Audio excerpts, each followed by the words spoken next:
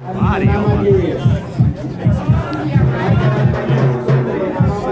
us a split. Give us a split. Give us a split. Give us a split. I mean, yeah, that's supposed to a million dollars. Yeah, exactly. One more time, one more time. Give us a split. Yeah. Y'all, you better get the hell out of here. Split. Better